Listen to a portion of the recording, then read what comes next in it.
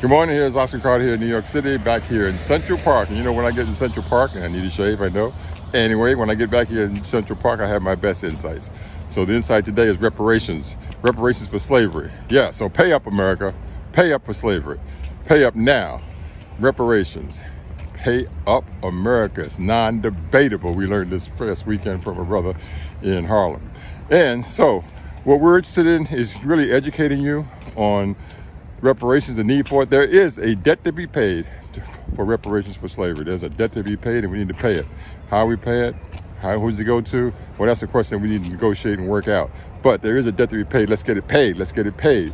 So in order to have that happen, the only way it's going to happen, I promise you, the only way it's going to happen is we develop a coalition of people in support of reparations, a coalition. I don't care what your different views about are about how to get, get it paid you know, we don't care about that right now. What we need to do is get the person elected into office that's been committed to reparations for the last, oh, how many years? Over 20 years, committed to re reparations, convicted to pay reparations, to pay that debt that America owes for its original sin. So, join the coalition. My name is Oscar Carter. There's a link below to take you to a video and also to get educated. Um, and our, my email is also down there. So email me, let me know you want to get, get involved and we'll get you involved. Oscar Carter, New York City in Central Park, New York City.